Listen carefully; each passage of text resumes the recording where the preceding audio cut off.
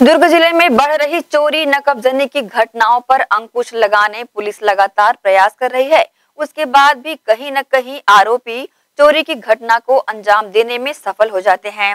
दुर्ग ज़िले के पुलिस अधीक्षक डॉक्टर अभिषेक पल्लव ने दुर्ग ज़िले के व्यापारियों से अपील की है कि वे अपने संस्थान के भीतर तथा सड़कों पर सीसीटीवी कैमरा लगावें तथा उसके डीवीआर को सुरक्षित जगह पर छिपाकर रखें।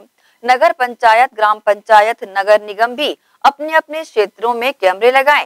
सीसीटीवी क्राइम को रोकने में फ़ायदा करता है। साथ ही क्राइम डिटेक्ट करने में भी फ़ायदा मिलता है।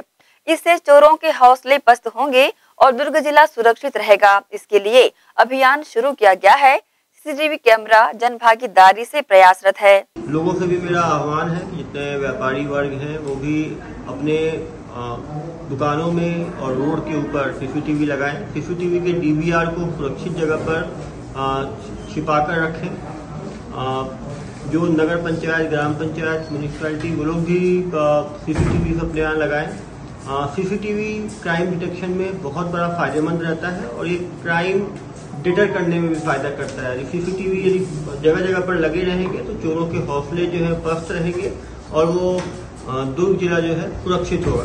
अभियान छेड़ के हम लोग सीसीटीवी कैमरा जन भागीदारी से लगवा रहे हैं।